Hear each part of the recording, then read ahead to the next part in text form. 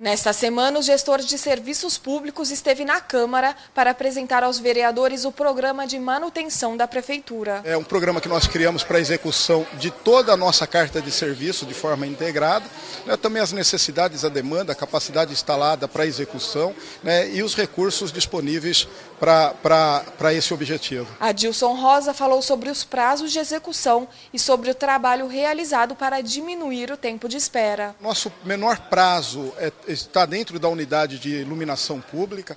Né? Qualquer demanda para execução de manutenção na cidade leva, o atendimento leva até 48 horas.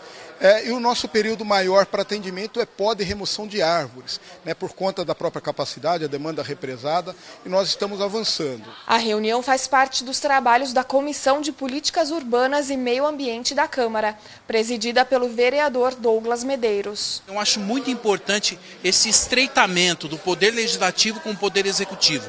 E aqui conhecer toda a equipe também que trabalha junto na plataforma de gestão de serviços públicos é fundamental para que a gente melhore a interação e assim possa melhorar o serviço para o munícipe de Jundiaí. O encontro foi uma oportunidade para que os vereadores pudessem apresentar algumas demandas mais urgentes da cidade. Fizemos algumas solicitações, tiramos algumas dúvidas sobre o desassoreamento dos córregos, a erosão nas margens dos córregos aqui em Jundiaí, o Rio Jundiaí, Avenida 14 de Dezembro, sobre a CIP, a contribuição sobre a iluminação pública, a manutenção, quantas equipes, a ampliação da iluminação em nossa cidade e estamos aguardando aí a solução dos problemas. Nosso papel aqui é fiscalizar e fazer essa ponte entre o poder legislativo e o poder executivo que executa e coloca na programação os serviços aqui da prefeitura.